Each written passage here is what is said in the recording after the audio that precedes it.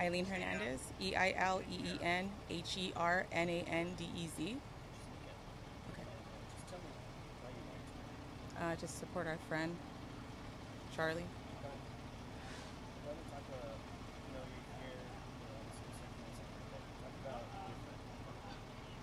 I'm just here to support our friend, our his family and friends, all of our fire friends are going through very difficult time right now with all of this.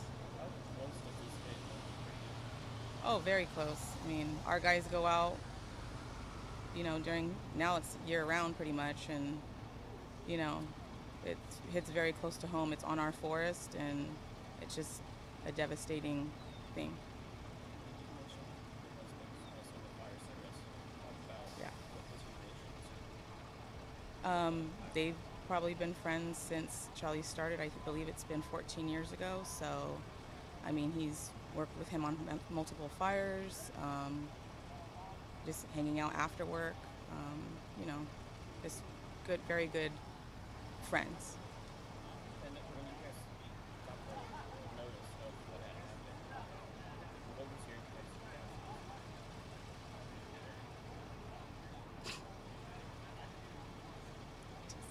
Believe it.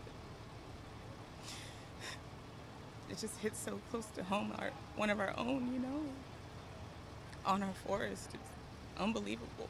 Still in shock. You know, seeing all this is makes it more of a reality. But, you know, my heart hurts for all of our guys because I know they're going through such a difficult time right now, and you know, it just breaks your heart. So.